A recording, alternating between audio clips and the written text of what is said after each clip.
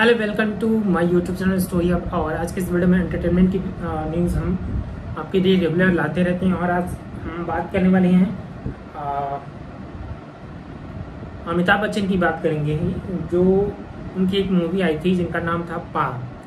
और उस रोल को निभाने के लिए अमिताभ बच्चन ने फ़िल्म में अपने किरदार के लिए एक ज़बरदस्त ट्रांसफॉर्मेशन किया था। कई एक्टर्स ने फ़िल्मों के लिए ज़बरदस्त ट्रांसफॉर्मेशन किए हैं, उनके लुक्स ने दर्शकों को हैरान कर दिया है। तो चलिए आपको, इन्हीं में से आपको बेस्ट कौन से हैं ट्रांसफॉर्मेशन आपको बताते हैं।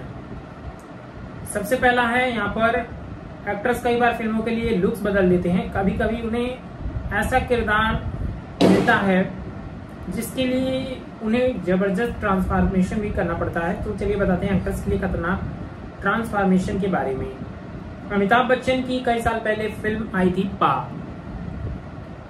इसमें बिग बी ने औरों का रोल निभाया था, जिससे प्रोजेरिया नामक गंभीर बीमारी होती है, और उसकी उम्र तो सिर्फ़ 12 साल की ही होती है, लेकिन अपनी उम्र से कई गुना ज़्यादा बड़ा दिखाई देता है। फ़िल्म में बिग बी का लुक देखकर फैंस हैरान हो गए थे, और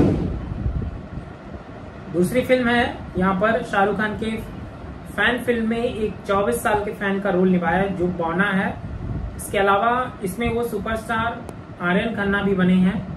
एक ही समय में दो अलग अलग रोल निभाना आसान बात नहीं होता है, लेकिन शाहरुख ने बहुत बखूबी से इसे पूरा किया।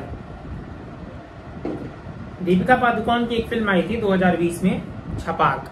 जी हाँ रियल घटना पे आधारित थी। यह एसिड अटैक साइबर सर्वाइवर की स्टोरी थी।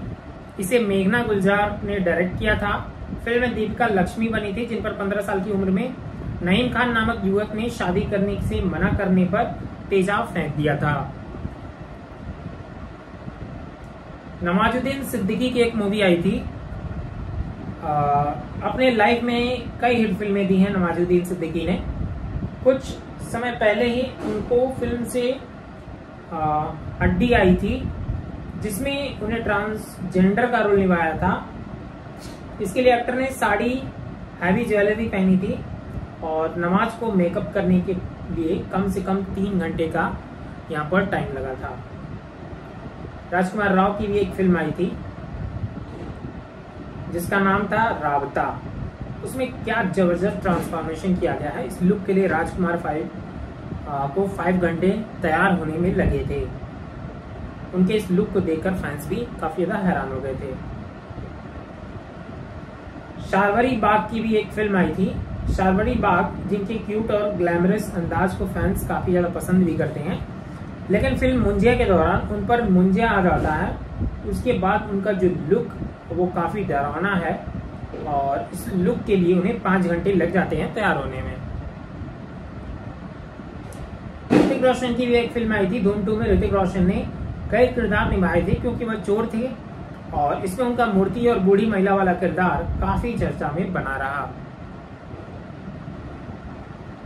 और अगली खबर आपको बताते हैं, बम्पर कमाई पर बॉक्स ऑफ़िस को रोशन कर चुकी है ये आठ फ़िल्में। आज भी उन्हें देखने से नहीं बढ़ता है मन।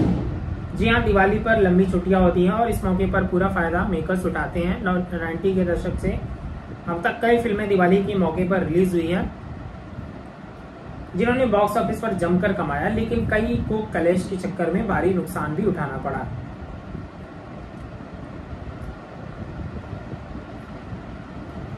दिवाली का त्यौहार सभी के लिए बेहद खास होता है। ये त्यौहार मेकर्स के लिए भी बेहद खास होता है। क्यों? दिवाली पे लंबी छुट्टियाँ होती हैं, और इस मौके पर पूरा फ़ायदा मेकर्स उठाते हैं। 90 के दशक से अब तक कई फ़िल्में दिवाली के मौके पर रिलीज़ हुई, जिनका बॉक्स ऑफ़िस कलेक्शन जो है जमकर कमाया। लेकिन कई को क्लेश के चक्कर में भारी नुकसान भी उठाना पड़ा। इस साल यानी 2024 में दिवाली पर अजय देवकिन की सिंगम रिटर्न्स और कार्तिक आर्यन की भूल भुलैया थ्री ये दोनों एक नवंबर को थिएटर में दस्तक देने वाले हैं। और आपको बहुत ज़्यादा पसंद भी आने वाले हैं। अंदाज अपना अपना ये भी जो है ऑल टाइम सबका फेवरेट रहा है फ़िल्म